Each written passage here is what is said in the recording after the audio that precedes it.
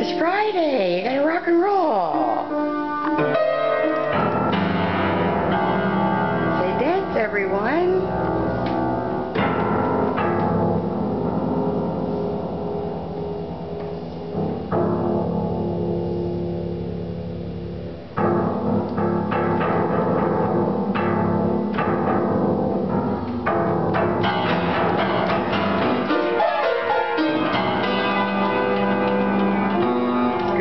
Rosie.